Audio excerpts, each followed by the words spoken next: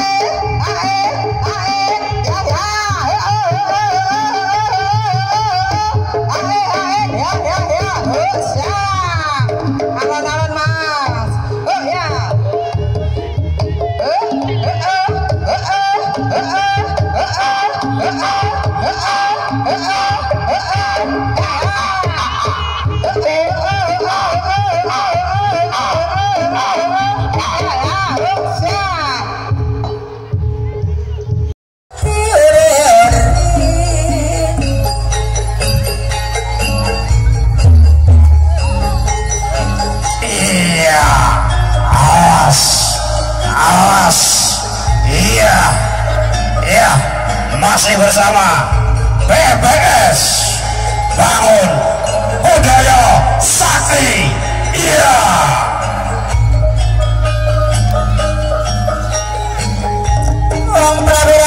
Iya